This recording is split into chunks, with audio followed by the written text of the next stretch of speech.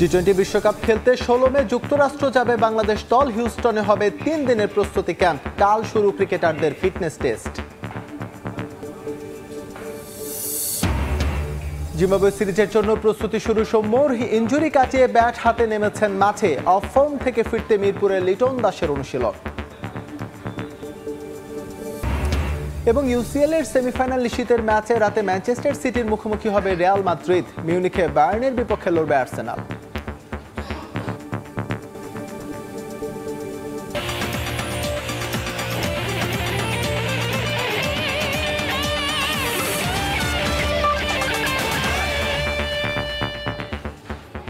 বিশ্বের নানা প্রান্তের খেলাধুলার খবর নিয়ে আমাদের নিয়মিত আয়োজন খেলার সময়, আর এই আয়োজনে আপনাদের সঙ্গে আছি আমি S M Iqbal.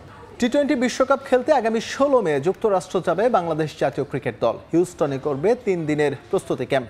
যুক্তরাষ্ট্রের বিপক্ষে সিরিজ শেষে টাইগাররা যাবে লাডার হিলে। খেলবে আইসিসির অফিসিয়াল দুটি প্রস্তুতি ম্যাচ। এদিকে জিম্বাবুয়ের বিপক্ষে সিরিজ সামনে রেখে নবনিযুক্ত strength and conditioning coach Nathan ক্যালির অধীনে কাল শুরু হবে ক্রিকেটারদের ফিটনেস টেস্ট, যা হতে পারে বঙ্গবন্ধু জাতীয় স্টেডিয়ামের অ্যাথলেটিক্স ট্র্যাকে।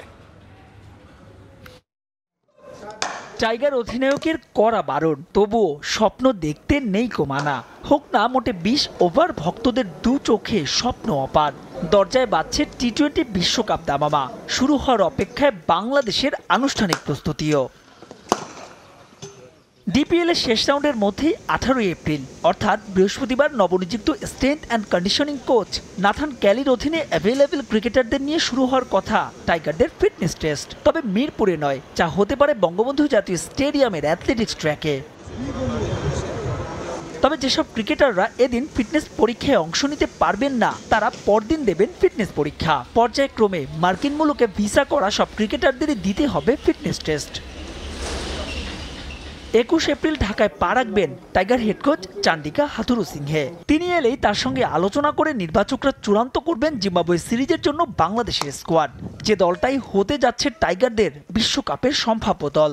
হাথুরুর গ্রিন সিগন্যালের ওপরে নির্ভর করবে ডিপিএল এর সুপার লিগের কতটি ম্যাচ খেলবেন জাতীয় দলের বিবেচনায় থাকা ক্রিকেটাররা। তবে শোনা গেছে জিম্বাবুয়ে সিরিজকে সামনে রেখে চট্টগ্রামে চলতি মাসের শেষ সপ্তাহেই শুরু হচ্ছে টাইগারদের কন্ডিশনিং ক্যাম্প তিন মে, পাঁচ ম্যাচের টি টোয়েন্টি সিরিজ শুরু হয়ে শেষ হবে বারোই মে। এর তিন দিন বাদে, অর্থাৎ ষোলোই মে যুক্তরাষ্ট্রের বিপক্ষে প্রথমবার মতো দ্বিপাক্ষিক সিরিজ ও টি টোয়েন্টি বিশ্বকাপ খেলতে মার্কিন মুলুকে উড়াল দেবে বাংলাদেশ দল, যেখানে করবে তিন দিনের একটি বিশেষ কন্ডিশনিং ক্যাম্প একুশ থেকে পঁচিশ মে, হিউস্টনে স্বাগতিক দলের বিপক্ষে তিন ম্যাচে টি টোয়েন্টি সিরিজ খেলেই টাইগাররা চলে যাবে লর্ডার হিলে, যেখানে খেলবে আইসিসি আয়োজিত দুটি প্রস্তুতি ম্যাচ। এরপর ফ্লোরিডা থেকে বাংলাদেশ দল চলে আসবে ডালাসে, যেখানে সাতজন শান্তরা খেলবে বিশ্বকাপের নিজেদের প্রথম ম্যাচ, প্রতিপক্ষ শ্রীলঙ্কা। যুক্তরাষ্ট্র পর্ব শেষে বাংলাদেশ দলে শুরু হয়ে যাবে ক্যারিবিয়ান দ্বীপপুঞ্জের ছোটাছুটি। মাহবুব রিমন, সময় সংবাদ।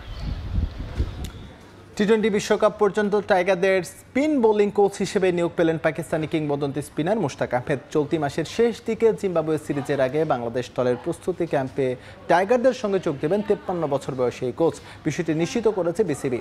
টাইগারদের দায়িত্ব পেয়ে গর্বিত সাবেক এই তারকা ক্রিকেটার বাংলাদেশ দলকে বিশ্বের অন্যতম ভয়ঙ্কর দল হিসেবেও দেখেন মুশতাক।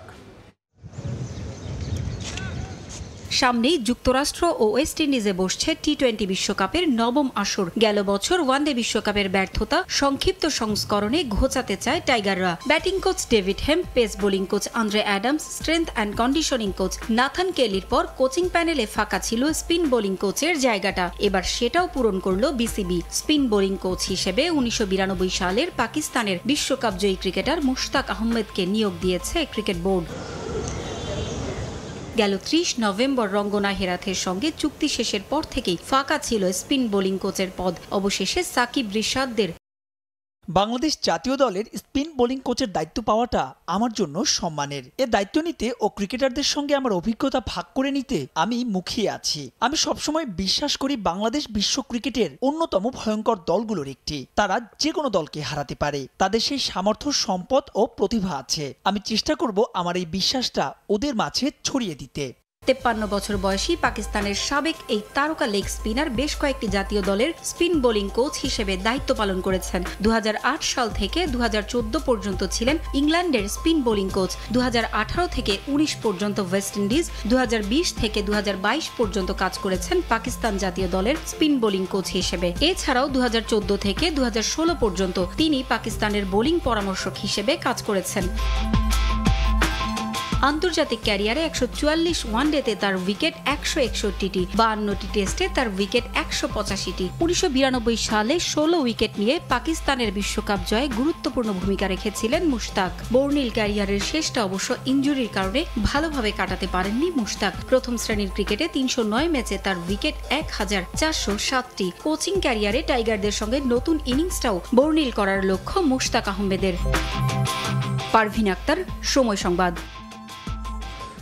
জিম্বাবুয়ে সিরিজের জন্য প্রস্তুত হচ্ছেন ওপেনার সৌম্য সরকার। ইঞ্জুরি কাটিয়ে প্রথমবার ব্যাট হাতে ফিরছেন মাঠে। লম্বা সময় অনুশীলন করেছেন একাডেমি মাঠে। অফ ফর্ম থেকে ফিরতে মিরপুরে ব্যাটিং অনুশীলন শুরু করেছেন লিটন দাস।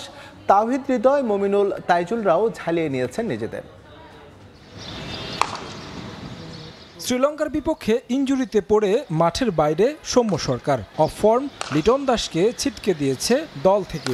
দুই ক্রিকেটারই একই লক্ষ্য। আবারও সেরা ছন্দে লাল সবুজ জার্সিতে ফেরা।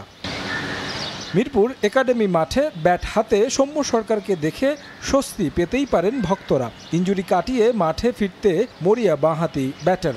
তপ্ত রোদে একাডেমি মাঠে করেছেন ব্যাটিং অনুশীলন। প্রায় চল্লিশ মিনিট থ্রোয়ারের ছোড়া বলে ব্যাট চালান, তবে এদিন বড় শট খেলতে দেখা যায়নি। অবশ্য খেলার কথাও না, কারণ ইঞ্জুরিতে পড়ার পর প্রথম দিনের মতো ব্যাট হাতে নিয়েছেন, তাই ডিফেন্স করে নর্মাল শট খেলেই প্র্যাকটিস সেরেছেন সৌম্য। ব্যাটিং শেষে জাতীয় দলের ফিজিও মুজাদ্দেদ সানিকে নিয়ে ফিটনেস ট্রেনিং করেছেন। বেশ কিছুক্ষণ রানিং করেন। আগের দিন হালকা রানিং করলেও এদিন ফুল রিদমে রানিং করতে দেখা যায় তাকে। সময়টা বড্ড খারাপ যাচ্ছে লিটন দাসের। টেস্ট ওয়ানডে টি টোয়েন্টি কোনো ফরম্যাটেই। ব্যাটে রান নেই ডানহাতি ওপেনারের। ডিপিএল থেকেও সুপার লিগের আগ পর্যন্ত ছুটি নিয়েছেন। তবে থেমে নেই অনুশীলন। এদিন মিরপুরের ইনডোরে অনুশীলন সেরেছেন এই ব্যাটার। শেরে বাংলায় যখন মোহামেডান শাইন পুকুর ম্যাচ চলছিল, তখন মাঠের পাশে দেখা যায় লিটনকে। জাতীয় দলের নতুন স্ট্রেংথ ও কন্ডিশনিং কোচ নাথান কেলিকে সঙ্গে নিয়ে ফিটনেস ট্রেনিং শুরু করেছেন spinner Taijul Islam. T twenty বিশ্বকাপের ভাবনায় থাকায় কদিন আগেই যুক্তরাষ্ট্রের ভিসা করিয়েছেন তাইজুল, তবে চোটের কারণে তার বিশ্বকাপ দলে থাকা নিয়ে সংশয় তৈরি হয়েছে। জানা গেছে লিগামেন্টের চোটে পড়েছেন তাইজুল। এদিন একাডেমি মাঠে ব্যাটিং করেছেন তাওহিদ হৃদয়। প্রথমে মমিনুল হক সহ মূল মাঠে শাইনপুকুর ও মোহামেডানের ম্যাচ উপভোগ করেন। এরপর প্রখর রোদের মাঝেই থ্রোয়ারের ছোড়া বলে ব্যাটিং করেন ডানহাতি ব্যাটার। ডিপিএলে আবাহনীর হয়ে ছন্দ দেখালেও জাতীয় দলে ধারাবাহিক পারফর্ম করতে পারছেন না, যার কারণেই অনুশীলনে বাড়তি মনোযোগ হৃদয়ের। তারেক হাসান শিমুল, সময় সংবাদ, ঢাকা। কোনো তাড়াহুড়ো নয়। নয় কোনো নির্দিষ্ট লক্ষ্য, বরং ধারাবাহিকভাবে ভালো খেলেই জাতীয় দলের জায়গা করে নিতে চান নতুন পেস সেন্সেশন মারুফ মৃধা। চলতি ডিপিএল স্বপ্নের মতো কাটছে তার। সিমারদের বিপ্লবের ভিড়ে নিজের গতি অ্যাগ্রেশন আর বাউন্স দিয়ে ভড়কে দিতে চান প্রতিপক্ষকে। সাম্প্রতিক সময়ে কাজ করছেন নিজের সুইং নিয়েও বোলিংয়ের পাশাপাশি উন্নতি আনতে চান ব্যাটিংয়েও। উড়ে সেই চুড়ে বসা নয়। গতি অ্যাগ্রেশন আর বাউন্স বয়সভিত্তিক দল যুব বিশ্বকাপ থেকে চলমান ঢাকা প্রিমিয়ার লিগ। বাইশ গজে মারুপ মৃধার প্রতাপ চলছেই। বয়স মোটে সতেরো। তবে এরই মধ্যে তাকে বিবেচনা করা হচ্ছে টাইগারদের আগামীর গতি তারকা। ডিপিএল এ উনিশ উইকেট নিয়ে সে আলোচনা জমিয়ে তুলেছেন আরও। অ্যাকশন তার অনেকটাই শরীফুলের কাছাকাছি। খেলেন মোস্তাফিজের জার্সি নম্বর নব্বই নিয়ে। ফিজের কাছ থেকে শিখতে চান কার্টার। সুযোগ পেলে টিপস নিতে চান পাকিস্তানি পেসার মোহাম্মদ আমিরের কাছ থেকেও। আমি ছোটোবেলাতে যখন খেলা শুরু করি, তখন মোহাম্মদ আমির বোলিং দেখে আমার খুব ভালো লাগতো। মানে ওর বোলিং দেখলে আমার খুব ভালো লাগে। অ্যাগ্রেশন আছে সব মানে অ্যাগ্রেশনটা আরও ভালো লাগে আমার যে কি করার চেষ্টা করতেছে ম্যাচে গিয়ে উনি কী করতেছে এগুলো নিয়ে আমি সবসময় ফলো করি বোলিং আরও আমি আরও ভালো কিছু করার চেষ্টা করব আমার সুইংটা আছে কাটার আসতে মুস্তাফিজের কাছ থেকে কাটার চেষ্টা- করব আমি সময়। আমি ফলো করতেছি যে এটা করলে মনে হয়তো ভালো হবে আমার জন্য মানে এটা শেখার চেষ্টা করতেছি যে কী করা যায়। সাম্প্রতিক সময় সুইং এ কাজ করছেন মারুফ গতি বাড়াতে নিচ্ছেন বিশেষ টিপস স্বপ্ন তার নিয়মিত বল করবেন একশো পঞ্চাশের কাছাকাছি। সবারই স্বপ্ন থাকে যে একশো চল্লিশ প্লাস বল করা একশো পঞ্চাশের কাছাকাছি করা। আমার হ্যাঁ আমার ইচ্ছা আছে যে জোরের উপরে সুইং করা কীভাবে সুইং করা হয় জোরে জোরে কীভাবে করতে হয় এগুলো আমি সবসময় চিন্তা করি যে কীভাবে করলে আরও ভালো হবে সামনে। তবে এখনই জাতীয় দলে খেলার কোনো স্বপ্ন নয় বরং নিজেকে প্রস্তুত করতে চান শতভাগ। প্রত্যাশা তার এমনভাবে ডেবু হবে লাল সবুজের জার্সিতে তারপর বিশ্ব ক্রিকেট রাজ করবেন অনেকটা দিন। না অ্যাগ্রেশন কমার তো কিছু নাই কারণ আমি চেষ্টা করি সবসময় আমি অ্যাগ্রেশন ব্যাটসম্যানদের দিয়ে অ্যাগ্রেশন থাকার চেষ্টা করি সবসময় কারণ একটা পেস বলার অ্যাগ্রেশন থাকতে হবে কারণ নয়তো ডোমিনেট করা যাবে না। কারণ অ্যাগ্রেশনটা সবচেয়ে জরুরি। একদম আমি রেডি হয়ে আমি চাই যে খেলতে। আমি এক দুই ম্যাচের জন্য খেলতে তো চাই না। আমি দেশকে যে লং টাইম একটা সার্ভিস দেবো, আমি এরকম স্বপ্ন আছে আমার যে অনেক বছর খেলব দেশের জন্য, ভালো কিছু নিয়ে আসব চলতে ঢাকা প্রিমিয়ার লিগে গাজীটার ক্রিকেট একাডেমির হয়ে খেলছেন মারুফ মৃধা। উইকেট শিকারীর তালিকায় রুয়েল মিয়া আর আবু হায়দার রনির পরেই তার স্থান। মাহবুব রিমন, সময় সংবাদ, মুন্সীগঞ্জ। এদিকে চ্যাম্পিয়ন্স লিগ কোয়ার্টার ফাইনালের দ্বিতীয় লেগে আর্সেনালের মুখোমুখি হবে বায়ার্ন মিউনিখ, এমিরেটসে দু দলের প্রথম লেগ ড্র হয়েছিল দুই দুই গোলে। এলিয়ান জেরেনাই এই ম্যাচটি মাঠে গড়াবে আজ রাত একটায়। বায়ার্ন মিউনিখের আধিপত্য ভেঙে দিয়ে বুন্দেস লিগের শিরোপা ঘরে তুলেছে বায়ার লিভারকুসেন, তবে চ্যাম্পিয়ন্স লিগে দুর্দান্ত খেলছে বাফারিয়ানরা। আর্সেনালের মাঠ থেকে প্রথম লেগ ড্র নিয়ে ফেরায় দ্বিতীয় লিগে কিছুটা সুবিধাজনক স্থানে বায়ার্ন, কিন্তু ইঞ্জুরির কারণে দলের দুজন গুরুত্বপূর্ণ ফুটবলার একাদশে পাচ্ছেন না থমাস টুখেল। অন্যদিকে হঠাৎ করেই ছন্দপতন হয়েছে আর্সেনালের। শেষ ম্যাচে অ্যাস্টন ভিলার কাছে হেরে ইপিএল এর শীর্ষে ওঠার সুযোগ হারিয়েছে তারা। তাই বলা যায় কিছুটা ব্যাকফুটে থেকেই বিগ ম্যাচে মাঠে নামবে আর্তেতার দল। তারপরও আছে ইঞ্জুরির সমস্যা। বুকেও সাকা এবং ওডেগার্ডের খেলা নিয়ে রয়েছে বেশ সংশয়।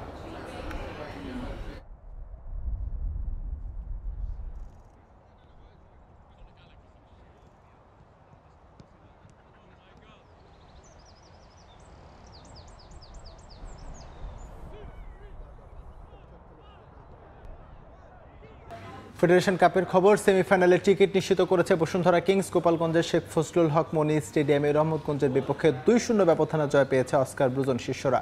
ফাইনালে ওঠার লড়াইয়ে বসুন্ধরার প্রতিপক্ষ হবে ফোর্টিজ এফসি অথবা ঢাকা বাহিনী। ঈদুল ফিতরের বিরতির পর ফেডারেশন কাপে বসুন্ধরা কিংস ও রহমতগঞ্জের ম্যাচ দিয়ে আবারও মাঠে ফিরল ঘরোয়া ফুটবল। গোপালগঞ্জের শেখ ফজলুল হক, মনি স্টেডিয়ামে কিংসের প্রতিপক্ষ রহমতগঞ্জ। সেমিফাইনালের টিকিট নিশ্চিত করতে এ ম্যাচে শুরু থেকেই বেশ আক্রমণাত্মক ফুটবল খেলে কিংস। বসুন্ধরা কিংসের বিপক্ষে জয় তুলে নিতে এদিন ম্যাচে তেমন কোনো সুযোগ তৈরি করতে পারেনি পুরান ঢাকার ক্লাবটি। ম্যাচের লড়াইটা ছিল কিংসের শক্তিশালী আক্রমণ ভাগ আর রহমতগঞ্জের রক্ষণ ভাগের। বসুন্ধরার আগ্রাসী আক্রমণ ভাগকে এদিন ম্যাচের চব্বিশ মিনিট পর্যন্ত আটকে রাখতে পেরেছিল রহমতগঞ্জ। রবসনটি সিলভার পাস থেকে ডি বক্সের ভেতর থেকে দারুণ শটে বল জালে পাঠিয়ে বসুন্ধরাকে লিড এনে দেন সোহেল রানা। ম্যাচের সমতায় ফিরতে প্রাণপণ চেষ্টা চালায় রহমতগঞ্জ। বেশ কিছু সুযোগও তৈরি করে তারা। তবে সে যাত্রায় কিংস রক্ষা পায় মেহেদি হাসান শ্রাবণের দারুণ সেভে। শেষে এক শূন্য ব্যবধানে এগিয়ে থেকে বিরতিতে যায় বসুন্ধরা। দ্বিতীয়ার্ধে আরও আগ্রাসী কিংস। আক্রমণের ধার আরও বাড়ায় অস্কার ব্রুজনের শিষ্যরা। ম্যাচের একষট্টি মিনিটে ব্যবধান দ্বিগুণ করেন উদো। এরপর ম্যাচে ফিরতে পারেনি দু হাজার একুশ বাইশ মৌসুমের রানার্স আপ রহমতগঞ্জ। শেষে দুই শূন্য ব্যবধানে জয় নিয়ে মাঠ ছাড়ে বসুন্ধরা। এ জয়ে এই মৌসুমে ফেডারেশন কাপের শিরোপা জয়ের লক্ষ্যে আরও এগিয়ে গেল কিংস। আগামী ত্রিশ এপ্রিল ফোর্টিস এএফসি এবং ঢাকা আবাহনীর মধ্যে জয়ী দলের সঙ্গে কিংস খেলবে সেমিফাইনাল। ফারজানা জাহান, প্রিয়া, সময় সংবাদ। এ পর্যায়ে খেলার সময়ের শীর্ষ সংবাদগুলো জানিয়ে দিচ্ছে আরও একবার।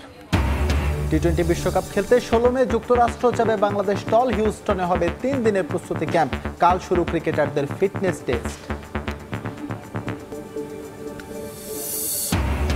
জিম্বাবুয়ে সিরিজের জন্য প্রস্তুতি শুরু সোমবার ইঞ্জুরি কাটিয়ে ব্যাট হাতে নেমেছেন মাঠে। অফ ফর্ম থেকে ফিরতে মিরপুরে লিটন দাসের অনুশীলন।